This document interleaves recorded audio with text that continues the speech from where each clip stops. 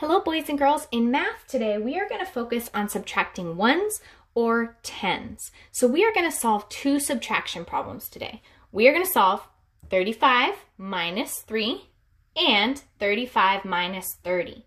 So I want you to notice something about these two math problems. They both have the same whole. They both have 35 as the whole, but the parts that are taken away are the parts that are different. So in this one, we're taking away 3, and in this one, we're taking away 30. All right, so we are going to solve these, and we're going to use these number lines to help us out. Now, you'll notice that this number line starts at 30, and it goes up by ones until it gets to 40. And then this one um, starts at 5 and goes up by 5s until it gets to 40 as well. Okay? So these two number lines end at the same spot. They just get there different ways. This one is by ones, this one is by fives. Okay? All right. So let's start off with this one, 35 minus 3. Now, to subtract mentally, which means in your head, you count backwards, right? We're to keep using, we're to use a number line a couple times to um, subtract and count backwards. But soon, if you keep practicing this, you'll be able to do it in your head without drawing a number line. All right, so, so we subtract mentally by counting back. So when we subtract 35 minus 3 mentally, that means we start at 35 and we count back by ones. Okay, so let's start at 35 right here and we'll count back by ones. Okay, one, two, three. So we counted back by ones three times because we're taking away three. So what number do we um, did we end up with? 32. So 35 minus 3 equals 32. Good, right? Looks good? All right. Now, how about this one? Now we're going to look at 35 minus 30. Okay, so to subtract 35 minus 30 mentally in our heads, instead of going back by ones, because that would take a long time and we would totally lose track of what number we're on, we are going to subtract by tens. How many tens are in 30? Three. Three tens are in 30. So we're going to start at 35 and we're going to go back by 10 three times. Okay, so let's look at it here. All right, start at 35, right? That's our whole. Okay, so we'll start here. Then we're going to go back 10. So 35 back 10 is 25.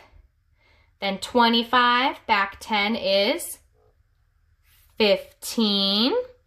And then 15 take away 5 uh, take away 10 is 5, right? So you see how this went up by 5? So each time I went back by 10s, it took up two spaces because that's two fives, which equals 10. So we went 35, back 10 is 25, 25 back 10 is 15, and 15 back 10 is 5. So see, we went one, two, three. We went back three times, and it was by 10 that we went back each time. So 3 tens equals 30. So we did 35 minus 30, which equals what number? 5. There. Good. So with these number lines, boys and girls, when you're doing the problems today, you can draw number lines similar to this to help you out. Um, when you're using like the tens, you can go up by fives because that will make it a little bit easier instead of going up by ones and having to count all of those. Um, but after you've used the number lines a little bit, soon you'll be able to mentally do this math in your head. Like you'll be able to know in your head, okay, 35 minus 30, all right, 35 minus 10, 25, minus another 10, 15, minus another 10, 5. Oh, it's 5. You'll be able to do that in your head. I know we're getting pretty good at going backwards by ones in our heads. That's excellent. Um, but we're going to keep practicing that so we can do it by tens as well. Okay? All right, let's see. Let's try another one. We're going to keep the same whole. We're going to keep 35. All right, so we're not going to change the number lines at all. I'm just going to erase what we did before. So we are going to do 35 minus 2. All right, and 35 minus 20. Okay, so again, what number should we be starting on? 35, right? we should be starting on 35. So we're going to start on 35 again. And how many do we need to go back for this one? Two, we go back two. So 35 minus one, and then minus another one. What number do we land on?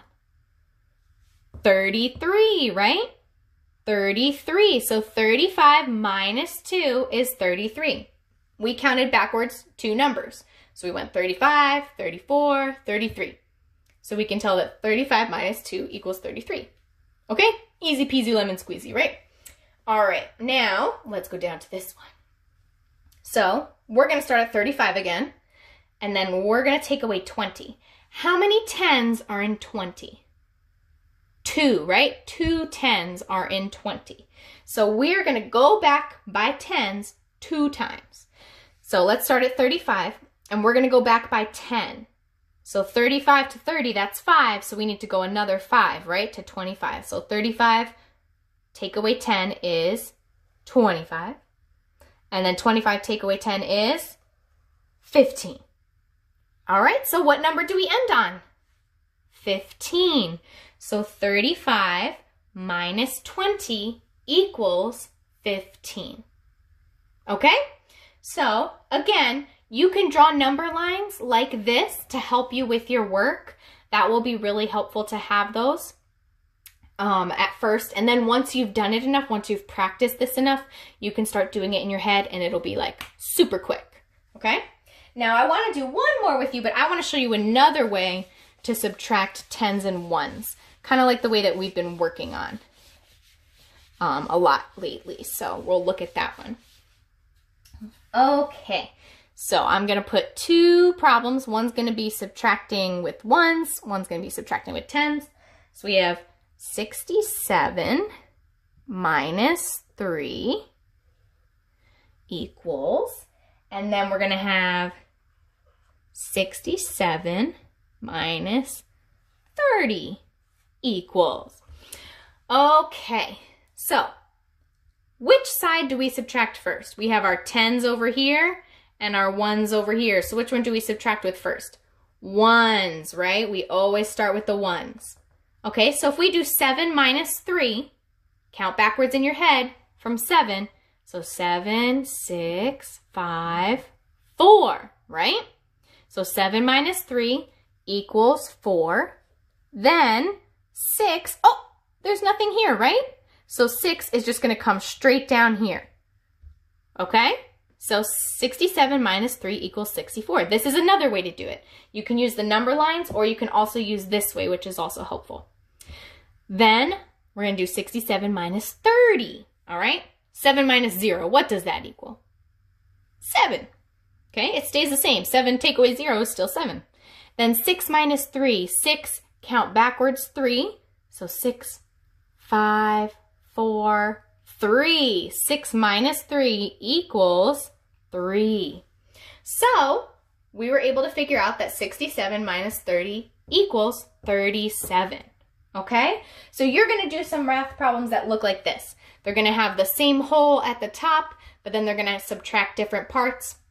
One will be with ones, one will be with tens, and then you're going to subtract to find the answer. So try doing the math in your head as much as you can. If you need a little extra help, you can always draw a number line to help you out with counting backwards.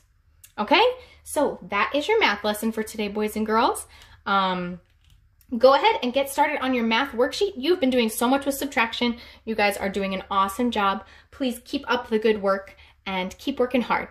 You got this, boys and girls.